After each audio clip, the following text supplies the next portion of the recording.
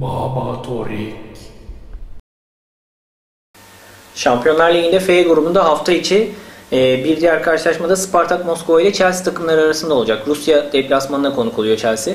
E, son karşılaşmada Premier Lig'de oynadığı karşılaşmada Aston Villa deplasmanında aldığı 0-0'lık bir beraberlik vardı Chelsea takımının ama e, rakiplerinin de puan kaybıyla birlikte özellikle Manchester United'ın aldığı beraberlikle birlikte liderliğini sürdürüyor ve hani Premier Lig'de şu anda rahat bir konumda ve e, bu senede İngiltere'de Premier Lig'in bir numaralı şampiyonluk adayı bakıldığında Şampiyonlar Ligi'nde de iyi bir başlangıç yaptı Chelsea takımı. İki maçta oynadığı e, oynadığı iki maçta aldığı 6 puan var.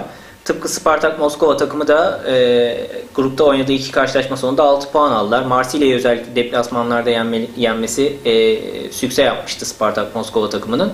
E, bakıldığında hani tek tek bakıldığında Spartak Moskova takımının da önemli oyuncuları var ama e, özellikle Rus liginde istenilen performansı sergileyemiyor Spartak Moskova takımı. Orada biliyorsunuz e, Zenit takımının e, bir hani hükmünü sürdüğü bir e, lig olarak geçiyor. Yani Zenit takımı şu an lider durumda ve arada oldukça e, büyük bir puan farkı var Spartak Moskova adına. O yüzden hani şampiyonluk çok e, uzak ihtimal olarak gözüküyor Spartak Moskova adına bakıldığında ama bu grupta özellikle bu Chelsea ile oynayacakları karşılaşmada içeride alabilecekleri bir puan onların gruptan çıkma adına çok büyük bir avantaj sağlayacak.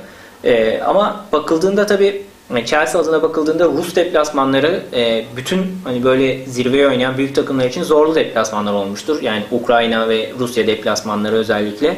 Yani buradaki saha ve zemin şartları da bu karşılaşmaların sonucunda belirleyici etken oluyor. Spartak Moskova'nın sahası da bildiğim kadarıyla çok hani böyle e, iyi bir zemin değil. E, maçlarını oldukça hani kötü bir zeminde oynuyorlar. Tabi son şeklini bilmiyorum stadın ama genelde bu şekilde e, maçlarını oynuyor Spartak Moskova takımı içeride. O yüzden bu anlamda ben karşılaşmada çok fazla hani gol pozisyonu olabileceği kanaatinde değilim. Sonuçta Chelsea takımı teknik kapasitesi e, üst düzeyde olan oyunculardan kurulu bir takım. Çok sağlam bir orta sahası var. O yüzden e, karşılaşmayı belirli bir sürede dengede tutacaktır e, Chelsea takımı ve e, ilerleyen dakikalarda da ben orta saha üstünlüğüyle birlikte Spartak Moskova'ya karşı gol bulabileceklerini düşünüyorum açıkçası. O yüzden bu karşılaşmadaki favorim deplasmanda da olsa Chelsea takımı ve hani karşılaşmada da çok fazla gol e, beklememek lazım. Ben karşılaşmanın da aynı zamanda alt biteceğini düşünüyorum. Baba Torik.